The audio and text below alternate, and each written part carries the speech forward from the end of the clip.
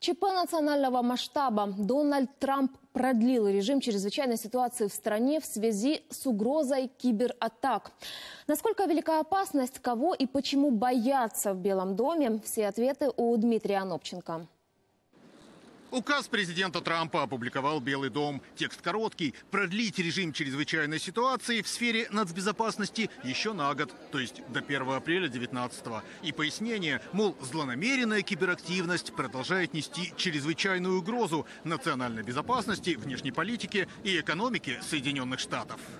Что за угроза и неужели она и вправду настолько велика, что необходим режим чрезвычайной ситуации по всей стране? Эксперты признаются, ситуация действительно очень серьезна. В какой-то момент США при всей их мощи осознали, что не просто уязвимы для кибератак – Выяснилось, что их компьютерные сети, что гражданские, к примеру, на объектах энергетики, что правительственные, открытая дверь для хакеров. Иран украл секреты в области торговли и технологий. КНДР похитила план ликвидации Ким Чен Ына. Русские хакеры атаковали компьютеры демократов и пытались в выборы вмешаться. В конце концов, у самого Агентства национальной безопасности кибероружие похитили. Расследование уже год идет, но виновных до сих пор не нашли.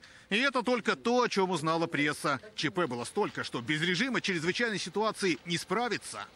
Более того, эта угроза и теперь сохраняется, уверен Майк Помпео, бывший глава ЦРУ и человек, который теперь возглавит Госдепартамент Соединенных Штатов. По его словам, Россия продолжит вмешиваться в выборы и может сделать это уже в ноябре, когда предстоит промежуточное голосование, когда конгрессменов будут переизбирать. Мол, российские хакеры получили доступ к программному обеспечению американских избиркомов. А заменить все эти программы страна уже не успевает.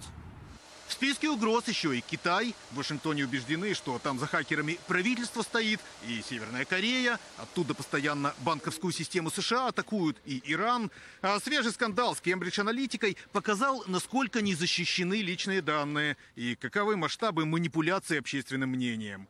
Учитывая все это, Белый дом и продлил еще на год режим ЧП в стране и собирается выделить порядка 15 миллиардов долларов в бюджете будущего года, чтобы залатать обнаруженные кибер кибердыры.